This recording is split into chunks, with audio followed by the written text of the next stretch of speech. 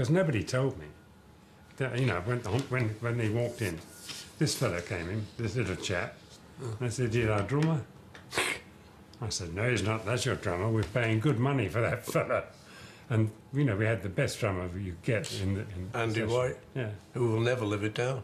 I didn't realise until quite late on how much I hurt him by that, and I didn't know. mean to. Well, he's a sensitive soul, Ringo. He is a sensitive kind of guy, you know, and, and I don't think we realised how much that hurt him. But um, he got over it. no, no, you know, he, he was not precise, and so you, I think you were used to working with session drummers who were Yeah. on the ball.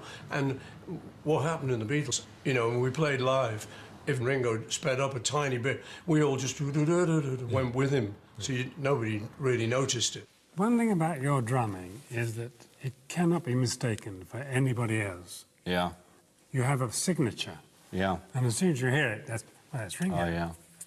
No doubt about it at all. I think it's an emotional thing where I actually put, you know, we only have that much room to hit, and I hit on the back of that, where a lot of other drummers hit on the front, but we still only have that. It's where you put it.